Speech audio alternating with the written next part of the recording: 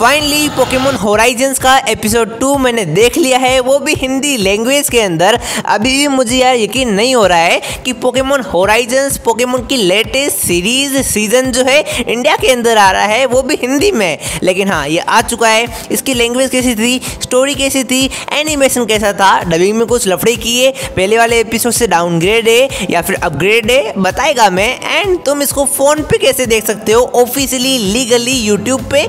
ये भी बताएगा तो शुरू करते हैं। सबसे पहले बात करते हैं एपिसोड के सिनोप्सिस के बारे में, कि एपिसोड कैसा था। तो एपिसोड की कहानी जो है, एपिसोड वन के एंड से शुरू होती है, जहाँ पर लिको का पेंडेंट ग्लो कर रहा होता है एंड उसके अंदर से बाहर आता है टेरापेगोस पोकेमोन जिसका नेम यहाँ पे बताया नहीं गया, लेकिन मुझे पता है तो मैंने तुम्हें बता दिया है लिटरली इस पेंडेंट के अंदर पोकेमोन रह रहा है। भाई यार, जिसको ये बात पहले से पता नहीं थी, वो कितने ज़्यादा चौक गए होंगे। लेकिन ये पोकेमोन गायब हो जाता है और लिको नीचे गिरने वाली होती है। तभी अपने नौजवान प्रोफेसर आते हैं लिको को बचाते हैं और अपनी स्पेसशिप में लेके चले जाते हैं। वहाँ पर लिको जो होती है, बहुत सारे टीममेट से मिलती है प्रोफेसर की टीम से मिलती है। वहाँ पे हमको बहुत सारे पोकेमोन देखने को मिलते हैं। लेकिन नोकटाउल को देखकर दिल में दुख हुआ बिकॉज़ मुझे एस के नोकटाउल की याद आ गई। लेकिन कोई ना, हमारी स्पेसशिप चल रही होती है, कुछ प्रॉब्लम आती है। लेकिन तभी एम एथ यहाँ पे आ जाता है और हमको एक लेजेंडरी बैटल देखने को मिलती है एम एंड पिकाचू के बीच में। भाई यार पिकाचू का मुकाबला क्या था यार?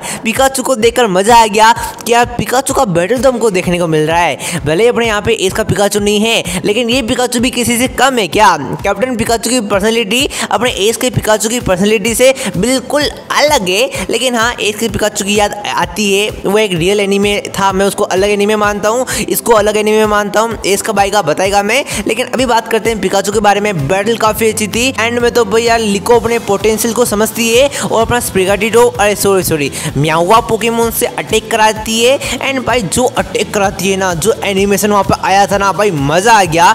एंड भैया एंड में स्प्रिगाटिडो नीचे गिर जाता है। लेकिन एमेथी उसको बचा के लेके भाग जाता है। ये बंदा बुरा भी लगता है अच्छा भी लगता है, लेकिन इतना ज़्यादा इविल भी नहीं है। तो हाँ देखने में मज़ा आ रहा है। तो कहानी की सिनोप्सिस ये था।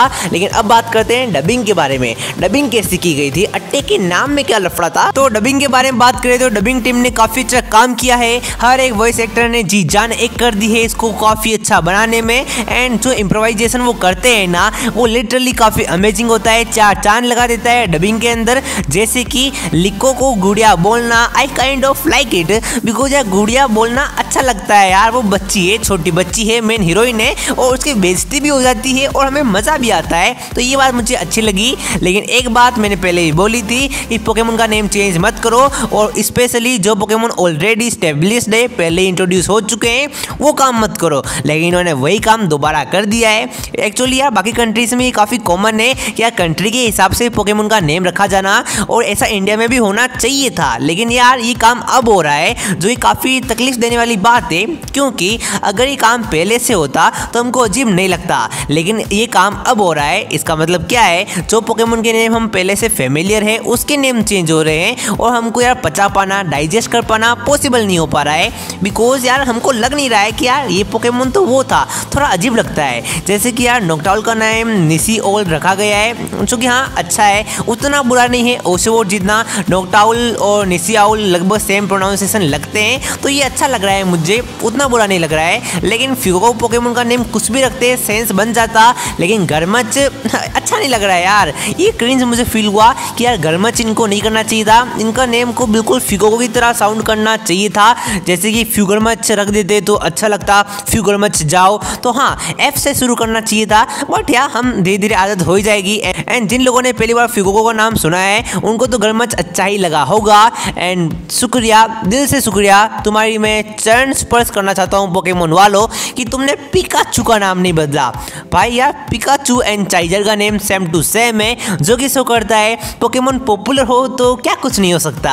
तो हाँ ये मुझे अच्छा लगा, लेकिन इन्होंने एक और चीज़ को बदल दिया, यानी कि जो इनके शिप का नाम है ना, वो इंग्लिश डब के अंदर ब्रेव असागी है, और अपने हिंदी डब के अंदर इन्होंने नाम रखा ब्रेव ओलिवाइन जो कि अच्छा लग रहा है। ऐसा लग ही नहीं रहा है कि इन्होंने बदला है। एंड अटैक के बारे में बात करें तो यार, वही बीटर ब्लेड को इन्होंने चेंज कर दिया, शैतान की तलवार, जो कि इन्होंने पहले भी किया, जो कि अब शो कर रहा है। मुझे जहाँ तक लग रहा है कि यार, ये ऐसा ही करे करेंगे। बीटा ब्लेड पूरे सीज़न के अंदर शैतान की तलवार बनने वाला है और उम्मीद करता हूँ कोई दूसरे अट्टे को ये चेंज ना करे। बट हाँ सुनने में मज़ा आएगा रिव्यू करने में मज़ा आएगा। मुझे क्या है, मुझे तो कॉन्टेंट मिल ही जाएगा। एंड कॉन्टेंट से मुझे याद आया, बहुत सारे लोग इसको मिस कर रहे हैं बिकॉज़ यार वो सुबह देख नहीं पा रहे हैं। तो तुम्हारे लिए गुड न्यूज़ है तो तुम इसको दो बार देख पाओगे। अगर तुमने पहली बार मिस कर दिया साढ़े नौ बजे तो तुम इसको ढाई बजे देख पाओगे। टू थर्टी को टीवी के ऊपर, हंगामा के ऊपर रिपीट टेलीकास्ट आएगा। अगर तुम उसको भी कर दोगे, या फिर तुम्हारे पास टीवी नहीं है, तुम यार टीवी पे देख नहीं पा रहे हो तो तुम फ़ोन पे देख पाओगे यूट्यूब के ऊपर